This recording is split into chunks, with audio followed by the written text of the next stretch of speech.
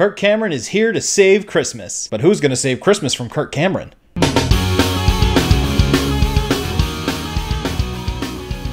Hello everyone, my name is John and welcome back to Homeless Movies, where I like to give secondhand films a second chance to be appreciated and see if they're still worth watching. And if you like making fun of bad movies as much as I do, make sure to click subscribe and ring the bell so you don't miss an episode.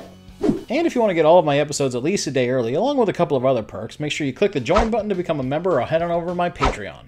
Kirk Cameron's Saving Christmas came out in 2014 with the sole purpose of putting Christ back into Christmas. It was so universally panned that it's considered one of the worst films of all time. It is consistently on IMDb's bottom 100 list. Kirk Cameron was so angry about everybody hating his movie, he essentially decided that all of the reviews were fake news, and so he had a bunch of his Christian friends go onto message boards leaving fake reviews to make people think that it was just some sort of atheist conspiracy against him. The movie starts with Kirk Cameron playing himself, delivering this extremely long winded speech from across the room, explaining that everything pertaining to Christmas gets him harder than Daddy Derek hearing that the gun show is back in town. I love Christmas. I love the fire. I, I love the presents. I love the stockings. I love the tree. I love the fudge. I love the lights. I love carpet. Brick, are you just looking at things in the office and saying that you love them? I love lamp. We get it, alright? Christmas is already awesome. And if that's the case, why are we here? What are we even trying to save it from? But have you noticed?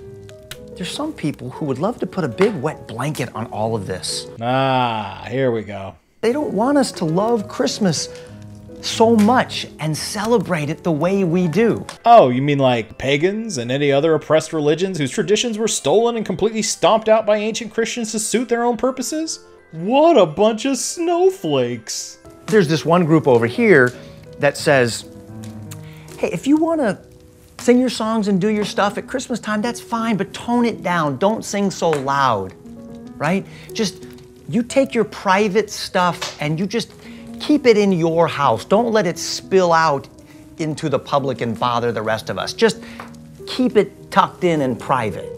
Oh, okay, so I get it. When somebody who's not a Christian tells you to not be so Christian at Christmas, that's oppressive. But if a Christian tells their gay child to do whatever they want with whoever they want as long as it's behind closed doors and doesn't reflect on them, that's just common decency. It's like we're only two minutes into this movie and it's already being hypocritical. That's gotta be a new record. You know, what are they going to do next? Tell us hot chocolate's bad for us? That the, the Druids invented it?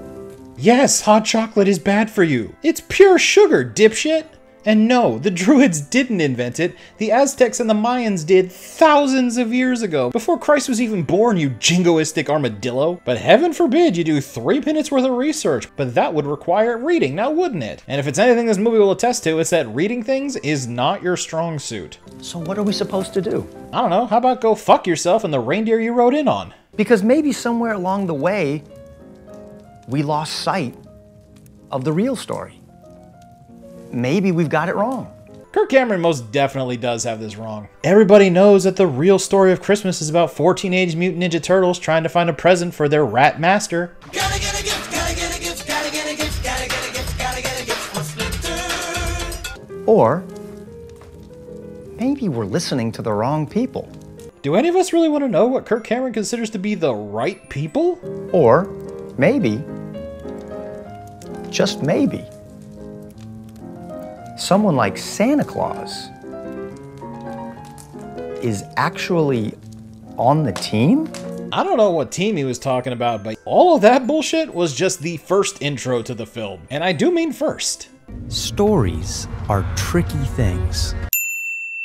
You're right, Kirk, stories are tricky. It's almost like anybody with an opportunity and a camera can just make up random facts and say that it's true without presenting any evidence whatsoever. Now, I'm not just gonna outright say that you did it, but I will heavily imply it.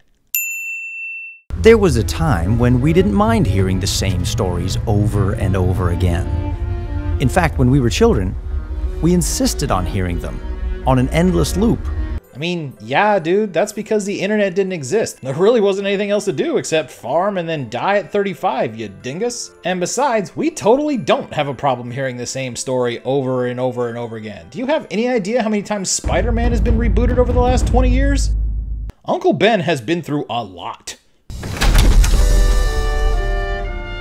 Whoa, who the hell is this guy? And what is this very ska Christmas we're having all of a sudden? It's only 76 minutes long, and the first 9 minutes of it is just intros. Hey, everybody. That's me, enjoying the party. And that's my sister. She's throwing the party. No one loves a Christmas party more than her. And that's Christian, my brother in law.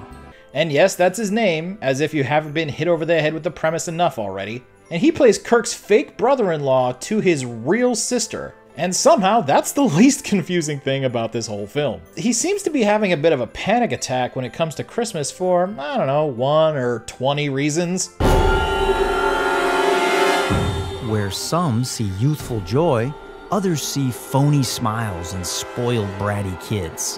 Where some see laughter and holiday cheer, others see pretense and obligations. Where some see festive decorations, others see perverted symbols with hidden meanings. Where some see innocent toys, others see pointless distractions. Where some see generosity and the joy of giving, others see needless spending and bad stewardship. Where some see religious persecution, others see total bullshit. See, Kirk? I can do it too. Commercialism, greed, holiday junk, materialism, paganism, elf worship. The list goes on and on. I mean, yeah, those are all very real and legitimate concerns that people have about how they should celebrate Christmas. But there's a very easy solution to that. Just celebrate it your way. People all over the world have celebrated Christmas in their own way for hundreds and hundreds of years. And to be honest, there's really no wrong way to do it. Unless you're Dutch because it's 2020 and somehow Black Peter is still a thing. Google it. Christian appears to be afraid that the true meaning of Christmas has become lost in the hustle and bustle of the season, and dudes like DeAndre playing the token black guy just yammering in his ear about total nonsense is not helping. What's up, DeAndre? How you been? you know me, blessed and highly favored, And? saved and sanctified, filled with the Holy Ghost, and that with a burning fire. And? Made evident by speaking in tongues, of course. You guys in your verses. You know, some people would choose to tackle world hunger or poverty or war crimes, but DeAndre, man, he knows what's really important. Crazy Shirt Friday. Uh, you get that memo? About what? No more crazy shirt Fridays. What? I can't believe they've done this. How could they take away Crazy Shirt Friday? And who the hell are they anyway? The man. Corporate. Oh, yeah. That clears it up. They think they're gonna tell us what to do. If we don't have crazy shirt Fridays, it's the end for us. Man, that's all we got. What else do we get? Floor two? I don't want floor two. You know what happens down in floor two? I don't. Don't want to find out because I'm on floor four. And I like it that way. We're gonna keep it that way. We're gonna march if we have to. Straight power. Me and you. My people have been through enough. Okay, whoa, whoa, whoa, whoa, whoa, whoa, whoa, whoa, whoa, whoa. Whoa. Did you just shout straight power and then compare the loss of Crazy Shirt Friday to systemic racism and slavery? Then they start taking over, telling us we can't have Fridays, then you can't have Thursdays, then you can't have Tuesdays, and what's left? Wednesday, hump day. That's already a day. That's not our day. We need a day for us. Crazy Shirt Fridays. If Crazy Shirt Friday is the sword that he's willing to die on, then so be it. But I gotta tell you, if he doesn't stop talking about it soon, I'm gonna let him borrow one of mine. If he doesn't stop talking about it soon, I'm gonna let him borrow one of mine. I'm gonna let him borrow one of mine. I hit my head. I'm gonna hand him one of mine. Ow. Fuck, that really hurt. That took way too many takes. Do you know how many crazy shirts I got that my wife gave me for Christmas? I'm assuming none because I'm pretty sure you've got a husband and I bet he's just lovely. What am I gonna do with those? That's not me. He's literally talking so much that the movie itself tries to play him off like he's giving a speech at the Oscars. Are you listening to me? What? I'm gonna get some hot chocolate. I'll send you the email again, alright? I'm out. Is there booze or something in the hot chocolate? Because everyone seems to be obsessed with it. It would explain a lot. I mean, Kirk Cameron's already teaching these elementary schoolers how to do whippets, so who knows? Hey, Christian! Nope, not here. Just Bill on the couch. Who the hell is Bill? I don't know, but I feel like I really need to. I can tell you this if we don't get some more Bill, I'm gonna be so mad. Kirk eventually finds Christian outside having a panic attack in his car, and he decides that he is the one best suited to help him through this, and he does this in the worst possible way. Everybody just wants stuff. I look at what Christmas is. And I think to myself, this cannot be what God wants.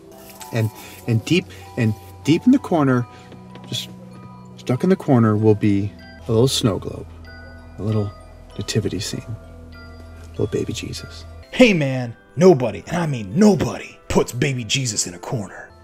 And put put a little glass thing around him. Shake it upside down. It's winter. Snow falls all over all over baby Jesus. And by the way, he he, he was not born in December. This is not what Christmas is all about. Everything he said is 100% valid, and he's allowed to feel that way. Or at least he would be if Kirk Cameron wasn't there to say this. But this is all wrong. This is all wrong. No, you're all wrong. You you you you drank the Kool-Aid. You you you took the bait, hook, line, and sinker. It's all about Jesus. And you're spoiling the whole thing. Not just for your wife, but for everybody inside your house.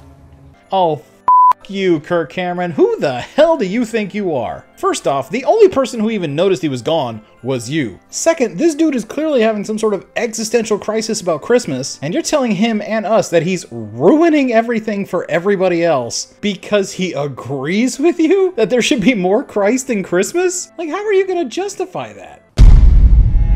If you had to pick one valuable thing in all of the decorations around your house at Christmas time, it would probably be your nativity set. But Christian, I don't even think you see what's so amazing about that scene. Okay, so you're going to explain how the nativity scene, which depicts the birth of Jesus, is related to Christmas. How can you possibly screw that up?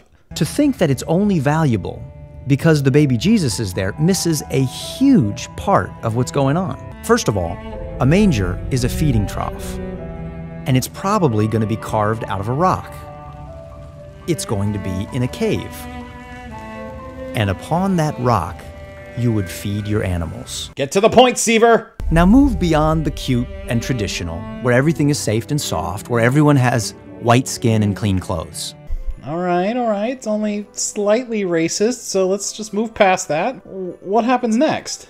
You need to think of Herod's soldiers moving through the streets, finding babies and murdering them, and mothers weeping for their children. That's fucked up, dude. This got really dark really quick. I'm hoping that you have a point that you're trying to make here. Let's set the stage. The Bible draws our attention to something that we usually think of as just a prop. Let's take away Joseph. Now let's take away Mary, leaving the baby. Let's even take away the baby himself for just a moment, because by getting a look at this prop, we'll get a better idea of why he was born in the first place. Swaddling cloth. What is this swaddling cloth? Is it just a blanket for a baby? Yes. We usually only think of the baby Jesus being wrapped in cloths. But the Bible brings these cloths back into the story one more time. At his tomb, when they rolled that stone away. Oh, okay, whoa, whoa, whoa, whoa. Say, what? Are you saying that Jesus was buried in his swaddling cloth? Or are you trying to make a point about just cloth in general? Did you ever wonder why the wise men brought frankincense and myrrh at Jesus' birth? No, Kirk, but I'm pretty sure you're about to tell us. Those are burial spices. Why would they bring burial spices to a baby shower? The birth scene is a picture of a coming burial scene. So let me get this straight. The birth of Jesus is meant to have predicted the death of Jesus, and the fact that he was wearing cloth at both times is what ties the two together? I mean, we do all start wearing diapers and usually end up wearing diapers in the end, so, uh, yeah, I guess it kind of makes sense. Is celebrating the eventual death of a baby the reason that people bring flowers when a baby is born? Oh, hey, you just had your baby. Congratulations. Here's some flowers to celebrate its inevitable demise. You're welcome. Let that image paint the picture for you. A baby who came to die. Yes, That's the reason for the season. Right there.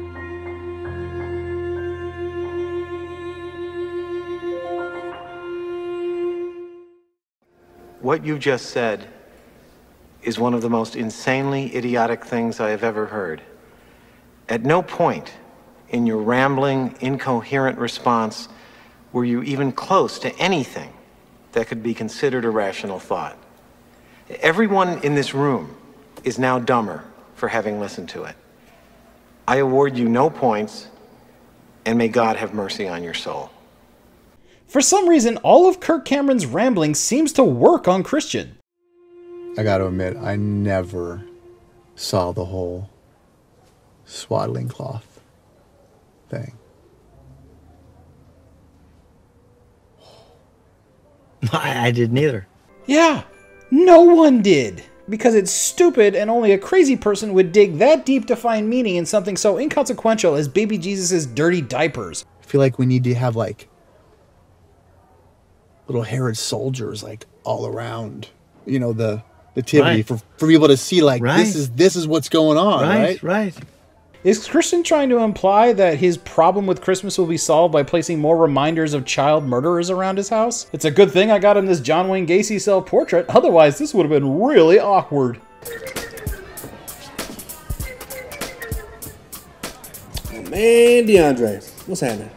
Oh, great, DeAndre's back, and he found a friend. You know what's really going on here? Yes. No. No, no, no, I don't. I legitimately believe that line because so far, it's the only one I can relate to. Three words. Popeye's chicken sandwich. You know, they only made so many that first time on purpose. Seriously, how can it be so good? I'm trying to go on a diet here. I got a wedding to go to, and it's already hard enough with the McRib being back, and everybody knows that that's my favorite sandwich in the whole wide world. And oh crap, the camera's still rolling. I really want a McRib right now. War on Christmas. Oh, fuck me. I think it would be in our best interest before we go any further. We gotta be really careful. You never know who's listening or watching. Cups up. Oh, okay. All right, man, check this out. We gotta go on the offensive. It's like the rapper Sugar Free said if you stay ready, you ain't got to get ready. They're already taking away our freedom of speech. I can't say Merry Christmas at work no more. I have to say Happy Holidays, but I am not in the days. I am wide awake. I don't even fully understand exactly why we're doing this because I'm pretty sure that by just switching over to a voiceover that we're actually speaking louder than we were before. And what are you even talking about in the first place? It's deeper than that, though. You heard about Area 51? What about Area 52? That's where they're keeping all the mangers trees and nativity scenes they keep taking down. Come on, man, they got fluoride in our water. I'm saying that's gotta cause at least Asperger's. Come on, you got the chemtrails and HAARP trying to control the weather with the womp. I saw loose change. I know what's up with the whole Koch brothers, Halliburton, Dick Cheney, Enron, Fannie Mac, Freddie Mae tie-in. But I mean, that's obvious. Look, man, I saw it on Fox News, so you know it's true. War on Christmas. It's everywhere.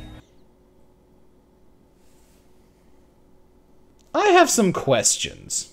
This whole rant about conspiracies doesn't go anywhere and never gets spoken about ever again. It just ends with the two of them going, So you know what we gotta do, right? What? The only thing we can do. and then not saying what it is or doing it. So the only thing I can assume that they have to do to deal with the conspiracy theories is just stop talking about it. It also comes across as really sort of making fun of the people that you would consider to be the target demographic of this movie, which is hard conservative Fox News watchers. In this one scene, it feels like the movie has alienated any potential audience that it could have had, which begs the question who is this movie even for? And to be honest, the only person I can think of is Kirk Cameron. Speaking of which, Christmas trees are up next on the Kirk Cameron chopping block. Christmas trees. Newsflash! Christmas tree, not in the Bible. Matthew, Mark, Luke, John, Deuteronomy. I missed it. I miss some Leviticus sometimes, but I'm pretty sure it's not in there. Which is true, but he can't really give any actual examples because he's written to be kind of an idiot. That's a pagan. That's a pagan idol symbol worshiping thingy. You know that, right? That's what they would worship the god with. You know the gods. What gods? the the gods. Which gods? Thor, Thorsus, Thor, Thor, Cyrus, Thor, Thor. It's always a. Are those gods or Pokemon evolutions? It's either that or some kind of a skin disease. I wonder what the infomercial for that would be like. Hi, I'm small time internet celebrity and comedy hack John from Homeless Movies. Do you or anyone you know suffer from thoracisis? If so, there may be something that can help. From the maker of Earth, life, and literally everything else in the universe, it's Jesus. Side effects include bigotry, delusions of entitlement and persecution when doing something as simple as buying coffee from Starbucks, the vapors, sudden onset verbal diarrhea, and on occasion, actual diarrhea. Jesus. Remember, if you don't sin, he died for nothing. Where are Christmas trees in the Bible? I'm glad you asked. I'll close my eyes again. Here I go. I'm waiting. Where are we going in the Bible? Genesis. Okay, so see if you can follow along this bit because I personally had a really hard time with it. Kirk goes on to explain that Christmas trees are representative of the tree of knowledge of good and evil from the Garden of Eden. And the decorations we place on it are meant to be the fruit from which Adam and Eve ate from, which honestly doesn't sound too terribly far fetched. But this is Kirk Cameron we're talking about. You know he can't just stop there. Let's go back to our story. As I was saying, Adam stole the fruit from God's tree and ate it. Now, when you steal something, you're required to put it back. But how could he? Adam had already eaten it. It had gone down inside and become part of him. So if you're like me in any way, you're probably thinking, well, the only way that Adam could basically put the fruit back on a tree would be for him to poop out the seeds of the thing that he ate, plant them, and then grow another tree. So then you have another tree with fruit. And if you're thinking that, congratulations, you might be considered a rational human being. Kirk Cameron is not that. The only way that Adam could put the fruit back on the tree would be, as crazy as it sounds, he would have to put himself up on that tree. Now think what did Jesus do? He was the last Adam. He put himself up on a tree, making us right with God. Jesus was God's blessed fruit hung on his blessed tree. Okay, um. What? From what I'm able to gather, this idea that Jesus is the last Adam, which sounds like a badass action movie by the way, comes from the Gospel of Paul, specifically Colossians 1:15, where he refers to Jesus as the image of the invisible God, the firstborn of all creation. So because Adam was the first person ever created by God and Jesus was the firstborn son of God, then they are technically the same person because Jesus needs to have more titles than Daenerys Targaryen at the end of Game of Thrones. So the tree is actually a cross, and Jesus is actually a fruit. Got it. Man, I'm so smart. So when you walk into a Christmas tree lot, I want you to see hundreds of crosses that will never be used because of Jesus' finished work. You do know that people kept being crucified after Jesus, right? Is crucifying the Jesus like the jumping the shark of biblical times? Like, nope, we already done it, can't top it, everything's all downhill from here. Remember, kids, anytime that you hang that funny Rick and Morty ornament, some tinsel or happy lights or fun little popcorn balls and family photos, it's like you're nailing Jesus to the cross all over again. So when you see empty Christmas trees, see an empty cross. And when you see the empty cross, see the empty cloths lying in an empty tomb. Again with you and the cloth thing! And when you see an empty tomb, do what the disciples did turn and run to tell the story that Jesus is alive. And this time, he's pissed. Jesus too!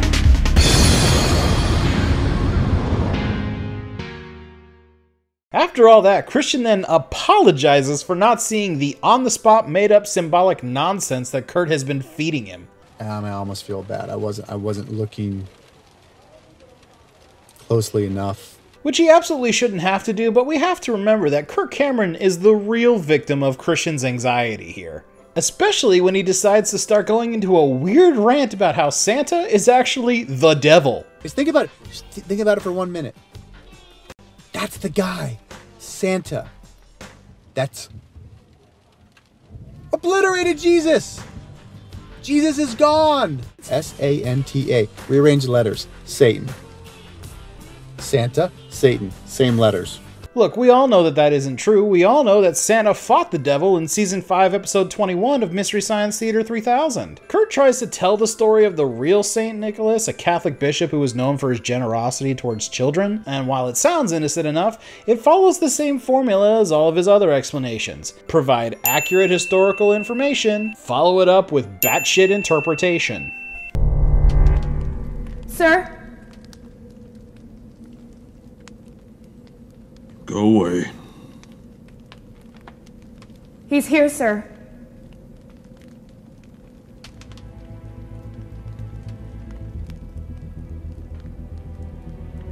Where? Here, at the tavern. Grab my coat.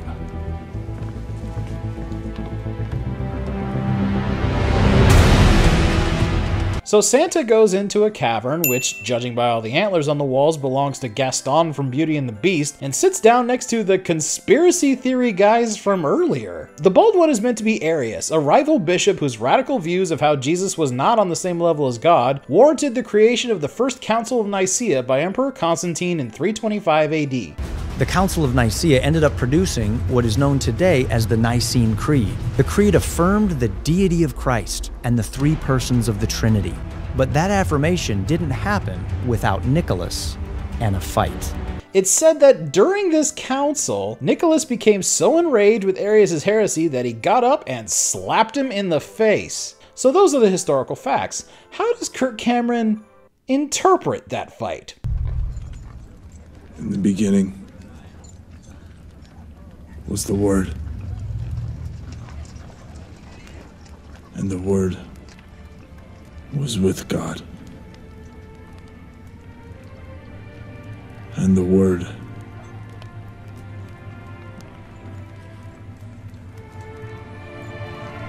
was Dubstep!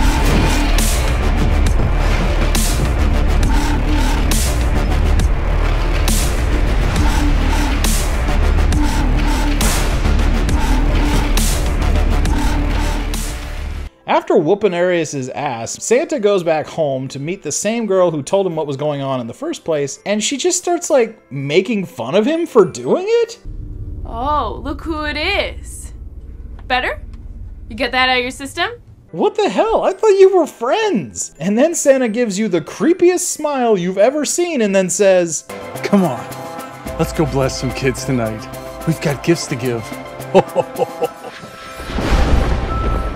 Uh, no thanks, Santa. I think I'll pass this time. And somehow, somehow, all of this convinces Christian that he's the bad guy in the story. Oh, dude, I am. I'm that guy in the story. I'm the jerk. No, Christian, Kirk is a jerk.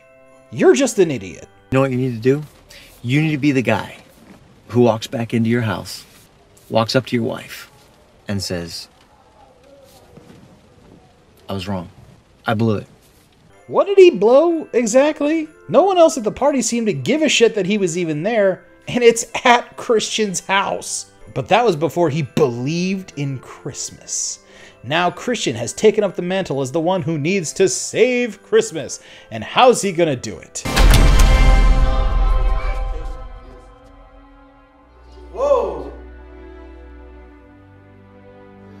Looks like somebody's having a moment. By bursting into the door, Kirk Cameron on his shoulder whispering in his ear like the devil, Now see Christmas through new eyes. and then Christian running in and murdering everyone. Whoa, whoa, back up, everybody!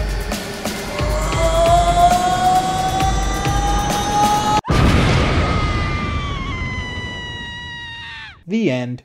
At least that's how I wished it would end. The last half hour of this movie is made up of primarily two things. One, Kirk Cameron tries to justify everything that he just said for the last 45 minutes to Christian to us. And two, a choreographed dance sequence of an all-white hip-hop troupe filled with awkward slow motion, extremely bored-looking children, and one really, really intense dude at the end. Before the credits roll, Kirk makes one final voiceover speech about how much he just loves Christmas, and how Christians need to not be afraid to be Christians at Christmas time, and how it's their duty to educate the world on the right way to celebrate Christmas. Because if you're not Christian, or even the right Kirk Cameron type of Christian, you're doing it wrong. Unless they're the Dutch, fuck those guys. Let me know down in the comments what you guys thought of the video and what movie you think I should talk about next. Click the like button and share this video with your friends, and make sure to thank my members and patrons who have continued to support me throughout this entire year. 2020 has been really, really hard, and I couldn't have been there without you. Thank you guys so much. Click over here to subscribe and watch another video. Thank you all so much for watching. I love you. I'll see you next time. Happy holidays, and just remember, be cool to each other.